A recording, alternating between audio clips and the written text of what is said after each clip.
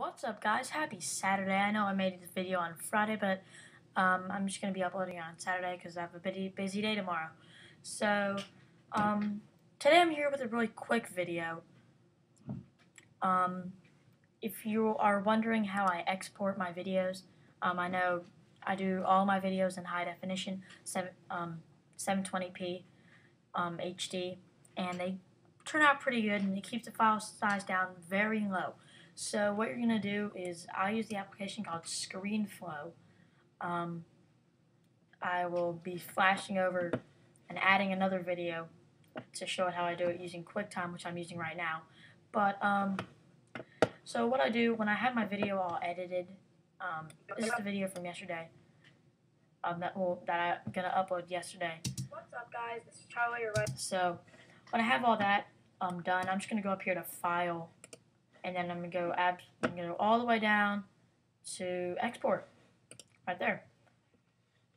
Now um, I've already made um, uh, all the settings, but I'm just gonna go through them. So first I'm gonna name it. I'm gonna do free wallpaper packs download.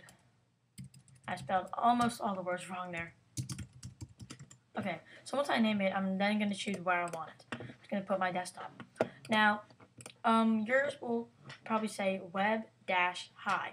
Those are the settings that it will be exported as. So, oh, and this will say 50% too. I'm just going to change that back to normal.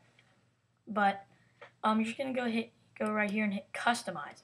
Now these will this will bring up your movie settings. What you're going to do is you're going to go over here to settings and keep your compression type at H.264, the standard Apple compression.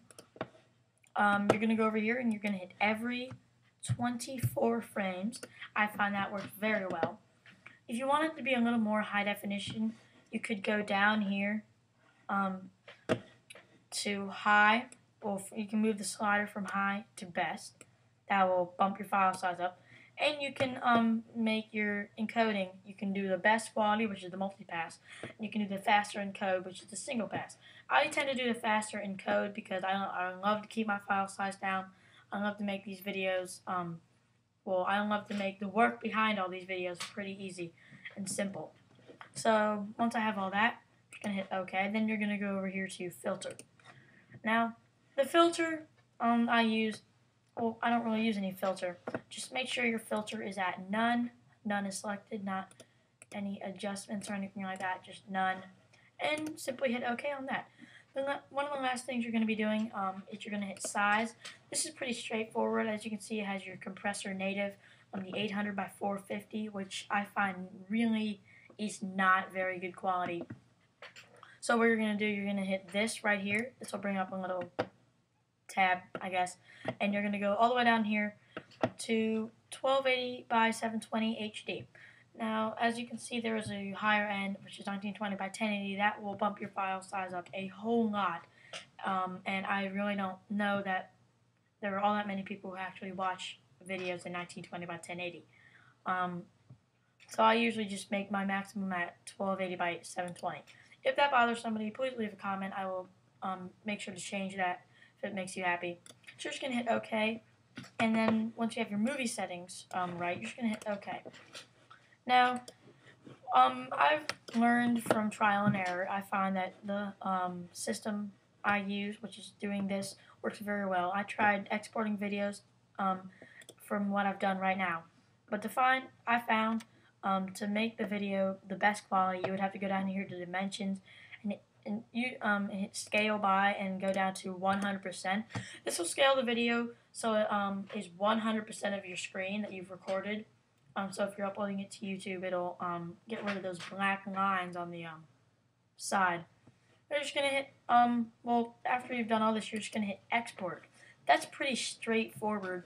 Um, I will probably flash the clip over to show you how I make a video on um, QuickTime using iMovie and such um, after this is done exporting, and I will show you how the video turned out. Okay, I'll see you then. Alright guys, so I just got done exporting this video, which I just showed you how to do. Um, and it looks great. I watched it um, once, and it the quality is very, very good. So, as you can see when I hit get info, Um, the file is 83.3 megabytes. That'll probably register as around 80 on YouTube. But um, I love cutting file size down. So what you're gonna do is you're gonna um, go to this application that I will put the link for the description in the description for this. Um, it is MPEG um, Streamclip. Um, so you're just gonna open that. And again, the download link for this application will be in the description. You can use this for your um, iMovie uh, videos too, which I'll be showing you how to do later in this video. So once this comes up, you're just gonna simply take this right here and drag it to the blue square and let go. And this will stop spinning and um, it'll just basically have your whole video. The red block, trust me, um, it's just the player. It will not um, be there. What's up, guys? This is Charlie, your. Um,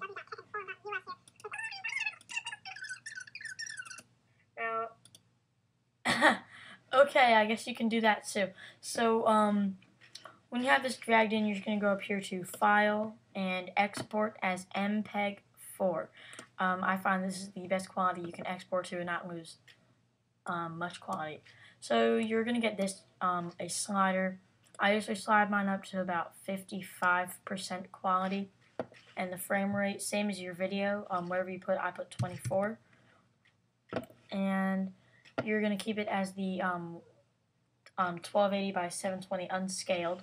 Um, do not try to scale it with um, uh, MPEG Streamclip. And then just when your settings look like this, you're just going to hit Make MP4. Um, and just hit um, Save to your desktop. And then these three windows will come up. This is your actual um, progress. And this right here is the exporter preview. So once this is complete, um, I believe it'll take around five, ten minutes. Um, that um, it'll be done, and you will have a file that is probably really not much of. Well, no. Let me start over. You'll have a file that is really cut back in size and not um, anywhere near the file size of um, 83 megabytes. Now I know 83 megabytes really isn't that much, but I love cutting file sizes down, so it's for the best. I will see you guys when this is almost done. Alright, so MPEG Streamclip has stopped converting the file that I showed you not too long ago. As you can see, um, there is now a MP4 on my desktop, and it is half of the file size, and the quality is still there.